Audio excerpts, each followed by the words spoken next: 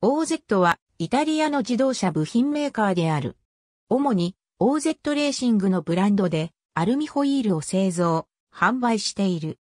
1971年、OZ は自動車用アルミホイールを製造する会社として、シルバーのオゼラドーレとピエトロゼンがベネト州ビチェンツァ県ロッサーヌベーネトで創業したのが始まりで、それぞれの姓の頭文字から OZ とした。最初の製品はミニクーパー用のアルミホイールであった。1978年にはイスナルド・カルタの支援を受け株式会社としての OZ が設立された。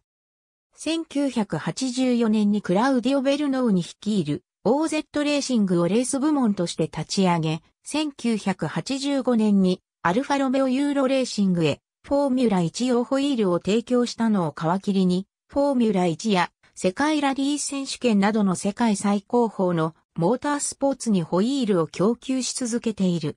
また、同じくイタリアにある自動車部品サプライヤーのスパルコとコラボレーションして同ブランド名義のホイールを販売しているほか、AMG やハルトゲ、AC、シュニッツァーなどへも製品の OEM 提供を行っている。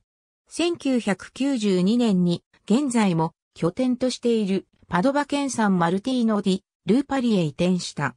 1999年にはアプリリア向けの純正ホイールの提供を開始した。インディカーシリーズの OZ ホイールデータは2018年、現在。ありがとうございます。